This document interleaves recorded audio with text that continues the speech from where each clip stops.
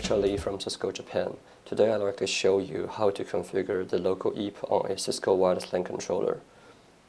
Now let's get started. Now here is my uh, controller 2504 and uh, in order to configure the local EAP, uh, let's click the security tab. Click security, click local EAP and click profiles. You will get a list of the available profiles on your controller and also please click new to add a new profiles. Let's, look, uh, let's use local PEAP for this example. Click apply and also please check PEAP if you want to enable the PEAP authentication for this profile. And I'd like to add one more uh, which use EAP-FAST. Local fast, apply, and also you need to check EAP-FAST in order to enable this authentication method. Now, uh, you can also click the profile names to get a verification of the configuration inside this profile. Next, you need to add one local user. Um, let me use Cisco as a username and also Cisco as the password. For local EAP, they are going to use this uh, local network users as a uh, user database. I've already have two wireless profile configured on my controller, uh, first, I would like to configure the local PEAP.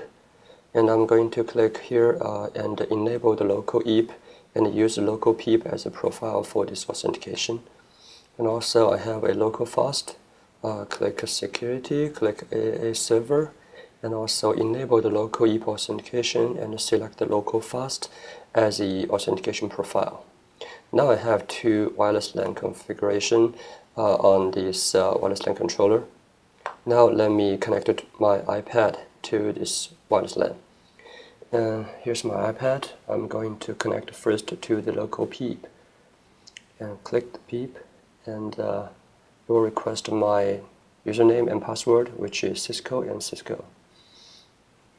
Click enter. It will show me the certificate from the controller and uh, let me accept the certificate and here I am I'm connected to the wireless LAN. It's just as simple. And I get this uh, IP address as 90.2. Let me go back to my controller and uh, click the clients. And uh, yeah, here is my iPad. I had the same IP address. And also I'm connecting to the local PEAP SSID. And uh, let's see.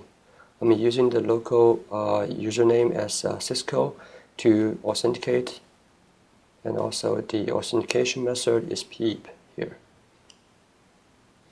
Now as you can see, I have already finished the configuration and the verification of the local PEAP.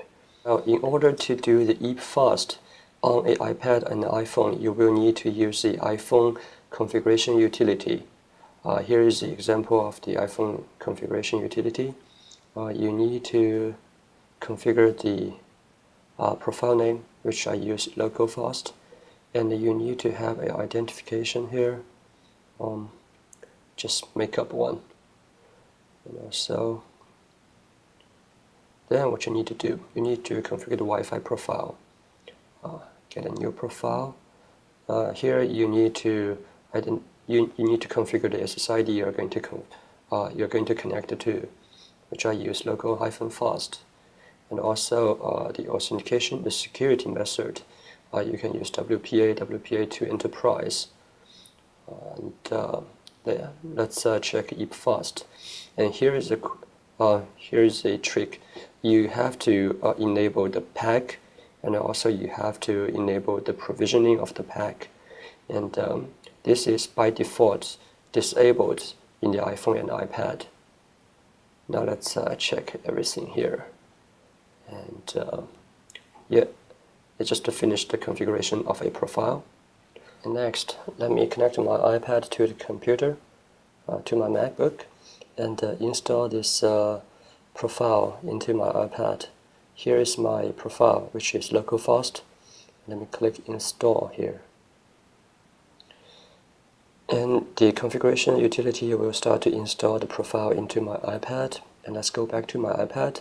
It show up this uh, screen as a uh, you want to install this profile yes and I have to input my pin to authorize this installation. And it will also ask me for the username and password for this uh, SSID, for, for, for this wireless LAN. And uh, I'm still using the Cisco and the Cisco as username and password. And uh, let's click next. Here we go. I've already installed the profile and uh, let's go back to the wireless LAN and uh, click uh, the local fast and see if I can connect to the SSID.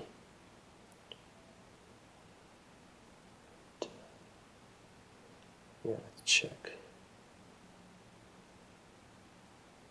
Yeah, here we go. I got connected and uh, still using the same as uh, IP address as 92 and uh, 90.2 and as I can see I'm connected to the local fast and uh, yes 90.2 and I'm still using the Cisco as a username for authentication and uh, for the authentication EAP type I'm using EAP-FAST here.